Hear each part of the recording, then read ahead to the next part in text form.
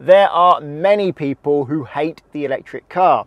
Generally, they're faster, quieter and smoother. But there's no shortage of people in Great Britain who absolutely despise them. Why though? Well, some reasons are more obvious than others. Let's kick off with an obvious one, charging. The range electric vehicles have these days is generally enough for most people's needs. But worrying about where to charge them up when needed, that's the problem. The charging infrastructure in Great Britain at the moment is well below where it needs to be for mass adoption of electric vehicles. Also, if you want to rapid charge your electric car, it's generally going to cost you more than filling up with petrol.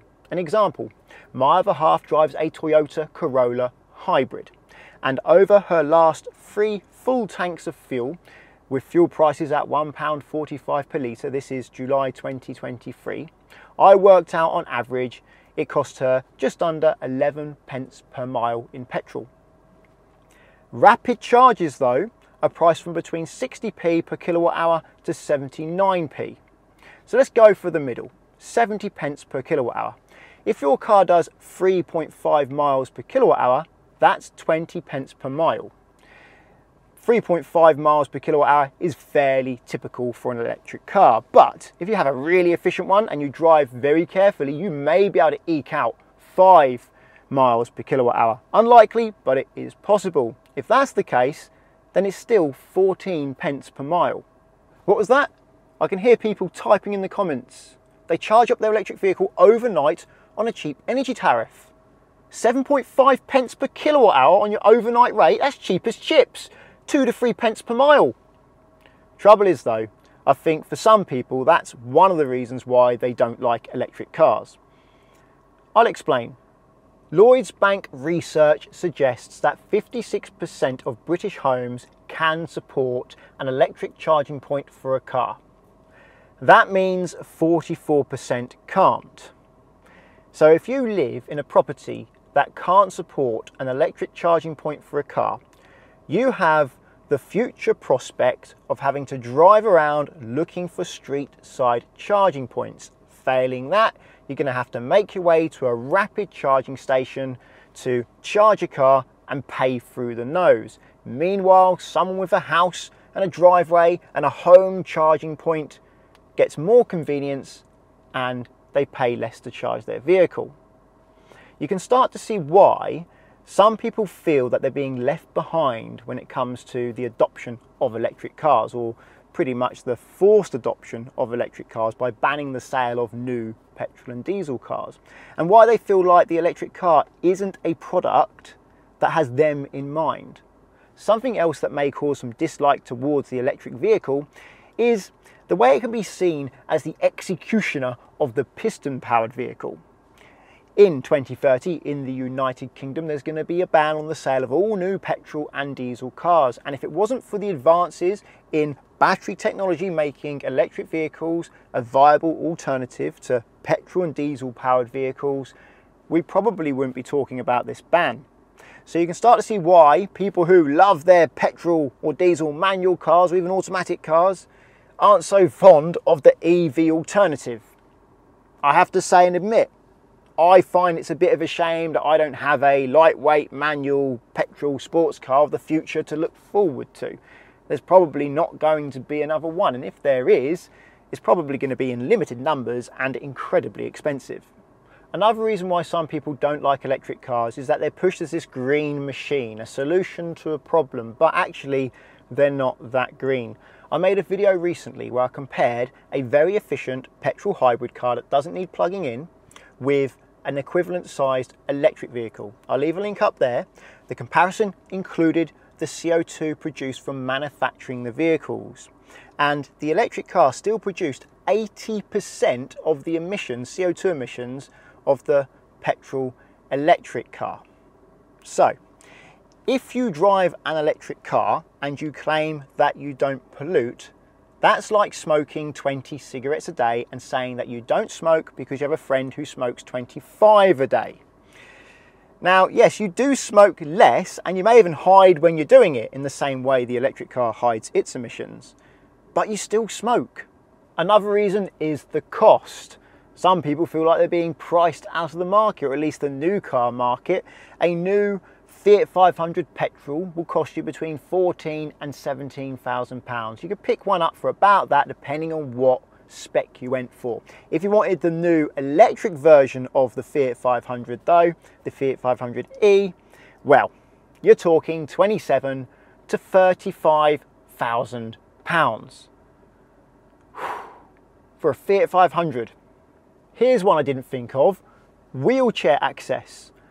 I've never had to charge an electric car from a wheelchair before, but apparently there's not many accessible electric charging points around. So if you can't charge from home and you need to use a wheelchair, well, it could be difficult. What concerns me, and I'm not against electric cars, but what I'm worried about is what's going to happen when people stop paying for fuel and therefore stop paying fuel duty. The government are going to want that money. The motorist is a cash cow, which means the money taken from the motorist in terms of tax doesn't get put back into the roads. Some of it does, but some of it goes elsewhere. The motorist pays for other things, so the government are going to want to continue to collect that tax revenue. I can see a pay per mile system on the horizon, and that's going to cost more than fuel duty, and we're not going to get a discount for charging the electric vehicles, which is already more expensive. So we're talking more money here.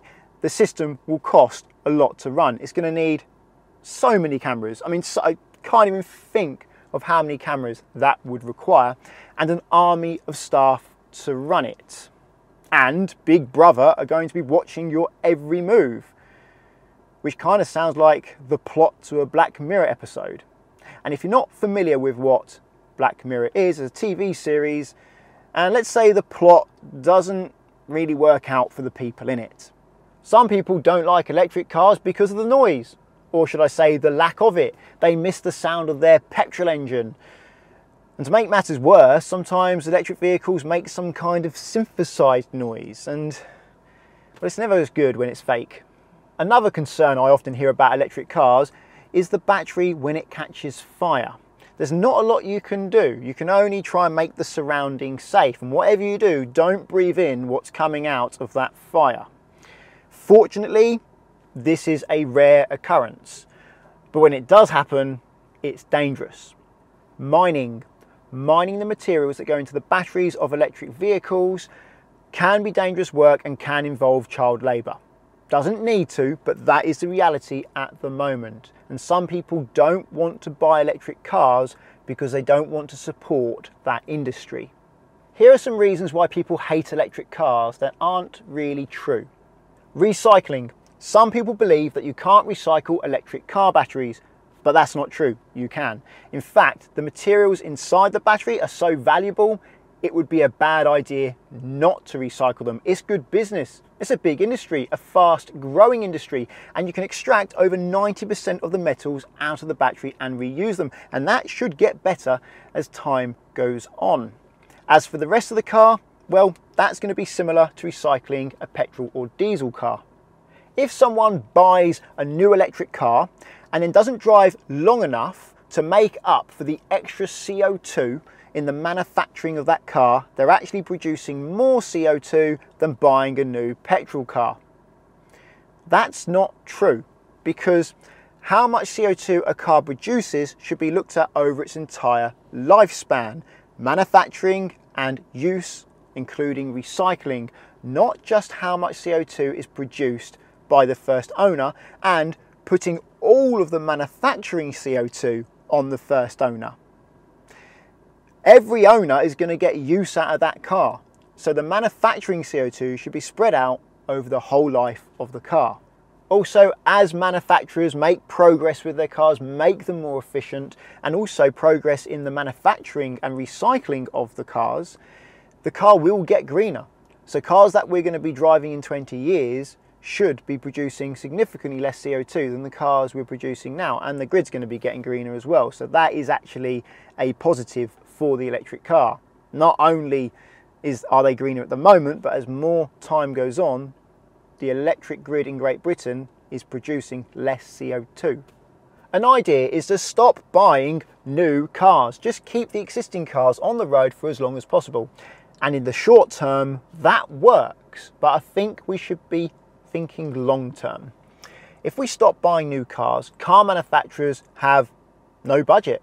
They have no reason to develop new technology, meaning we get stuck in the same place. And you can apply that same idea to an electric car. Buy the electric car and keep that as long as possible. The longer the electric car is on the road, the less CO2 it produces per mile. And the further we go into the future, the less CO2 is produced from generating electricity in this country. That is where we're heading at the moment. Whereas the petrol and diesel car will continue to emit more or less the same CO2. I'll talk about synthetic fuels soon. Some people say that electric cars over their lifetime, when you consider manufacturing as well, produce more CO2 than an equivalent petrol or diesel car. Now that may be true in some countries, but it's not true in Great Britain. When I did my little test and I compared a very efficient petrol hybrid with an electric car, in Great Britain, considering the average life expectancy of a car in Great Britain and how much CO2 is produced from electricity generation, the electric car produced 80% of the CO2 of the petrol hybrid. So it wasn't no CO2 and it was still actually quite a bit, 80% of the CO2, but it was less.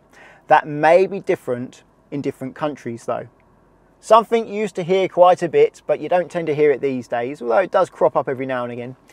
Electric cars have no power. Try a modern electric car. It will knock your wig off.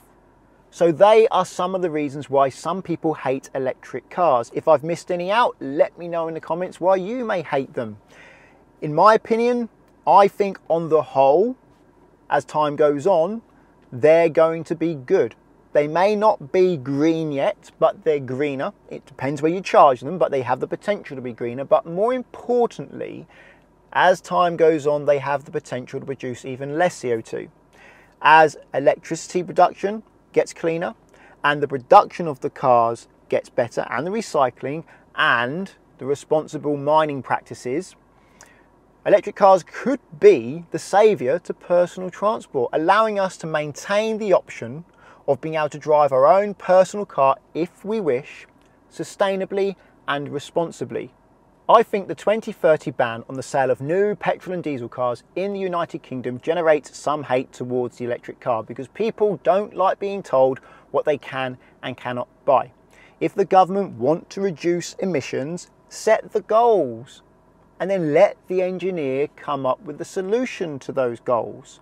It may well be an electric car, but it might be something else. It might be something that uses fuel, but for the time being, in our current era works out that it produces less CO2 over its lifetime. During this video, I'm sure some people have been screaming at their screens and writing in the comments that hydrogen and synthetic fuels are the answer. They are the solution. And they may well be, but they have a big problem.